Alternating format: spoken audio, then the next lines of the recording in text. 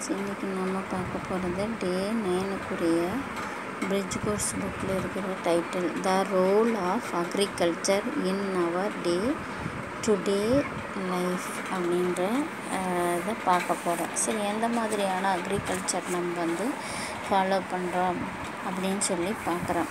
இதில் வந்து இந்த லெசனுக்குரியதெல்லாம் வந்து என்னோடய புத்தகத்தில் தெளிவாக கொடுத்துருக்குறாங்க நிறையா. அதை படிச்சிங்கன்னா நல்லா தெரியும். அதுக்கப்புறம் இதில் ஆன்சர் பண்ண முடியும் உங்களால்.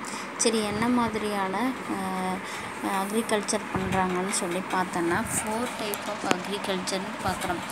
ஃபஸ்ட்டு ஒன் பார்த்திங்கன்னா சப்சிஸ்டன்ஸ் அக்ரிகல்ச்சர் சப்சிஸ்டன்ஸ் அக்ரிகல்ச்சர் அப்படின்னம்னா என்னென்னா புத்தகத்தில் தெளிவாக கொடுத்துருக்குது. இந்த டைப் ஆஃப் அக்ரிகல்ச்சர் பார்த்திங்கன்னா வாழ்வாதாரத்திற்கு எதிர்வான வாழ்க்கைக்கு தேவையான அடிப்படை தேவைகளை பூர்த்தி செய்ய அதாவது நமக்கும் நம்மளுடைய ஃபேமிலி ஃபேமிலிக்கும் யூசேஜ் ஆகிற மாதிரி யான அக்ரிகல்ச்சர் அப்படின்னு சொல்லி பார்க்குறோம். சரி அதே தான் சப்சிஸ்டன்ஸ் அக்ரிகல்ச்சர்னு பார்க்குறோம். இது எக்ஸாம்பிள் எங்கெல்லாம் செய்கிறாங்க அப்படின்னா இந்தியாவில் சைனாவில் ஜப்பானில் இந்த மாதிரியான அக்ரிகல்ச்சர் செய்கிறாங்க சரி அடுத்து பார்த்திங்கன்னா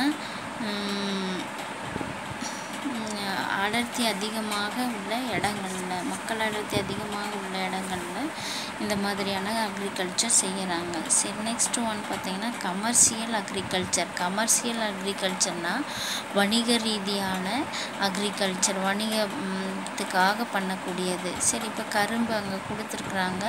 அந்த அது வந்து அந்த அக்ரிகல்ச்சர் வந்து அப்படித்தான் வணிகத்துக்கு தான். கரும்புலேருந்து எண்ணெய் எடுப்பாங்க. கரும்பை நாமளே சாப்பிட்றோமா? இல்லாமல் அது என்ன செய்கிறாங்க கரும்பை உற்பத்தி பண்ணி சுகர் கேன் அதாவது சுகர் கேனை உற்பத்தி பண்ணி அதிலேருந்து என்ன தயாரிக்கிறாங்க? சுகர் தயாரிக்கிறாங்க.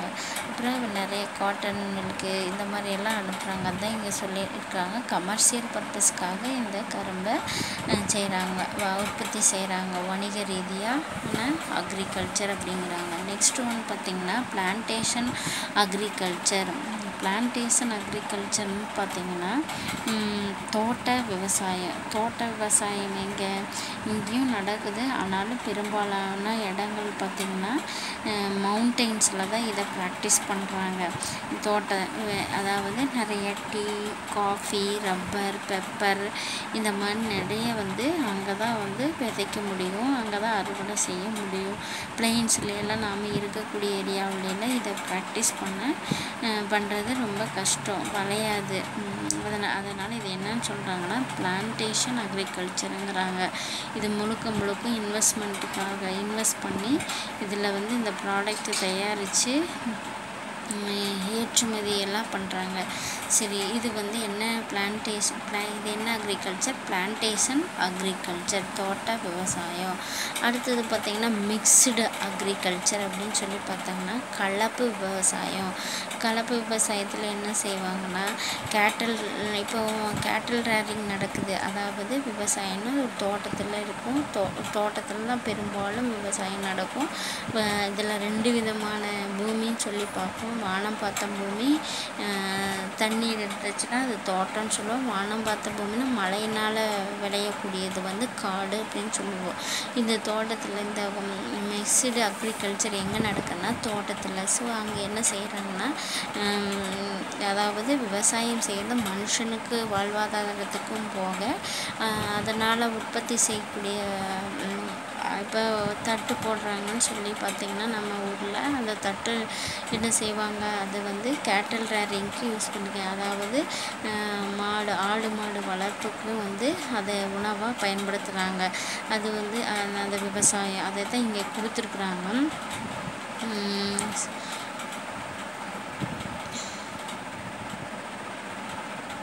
கேட்டல் வந்து தேர்ட் லைனில் கொடுத்துருக்குறாங்க. Second லைன்லேருந்து because both are depends on each other ரெண்டுமே வந்து என்னது ஒன் ரெண்டுமே வந்து இம்பார்ட்டன்ட் டிபெண்ட்ஸ் ஆகி இருக்கும்.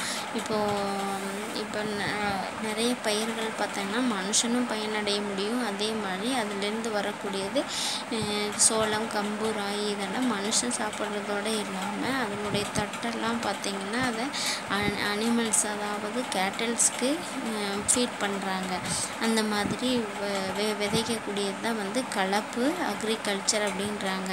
மிக்சடு அக்ரிகல்ச்சர் அப்படின்றாங்க. இது வந்து cattle feed depends on crops போக crops growth depends on animals waste animals waste இருக்குதுன்னு வச்சுக்கோங்களேன். அதை பயன்படுத்தி கூட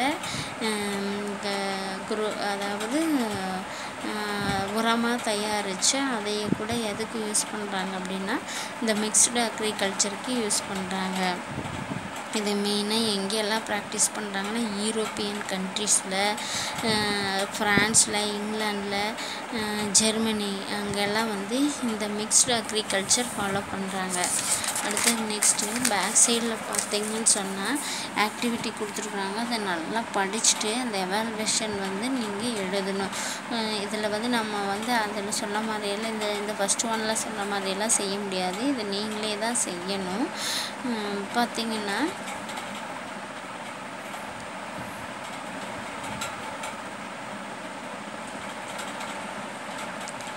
சரி Each group collects the occupation data in the village ஒவ்வொரு குரூப்பு குரூப்பாக பிரித்து அந்த குரூப் என்ன செய்யணும்னா ஒவ்வொரு குரூப்பும் இருக்கக்கூடிய டேட்டா கலெக்ட் பண்ண வில்லேஜில் இருக்கக்கூடிய ஒவ்வொரு ஃபேமிலியில் இருக்கக்கூடியவங்க என்ன ஆக்குபேஷனில் இருக்கிறாங்க என்ன வேலையில் இருக்கிறாங்கன்னு கலெக்ட் பண்ண சொல்லிக்கிறாங்க.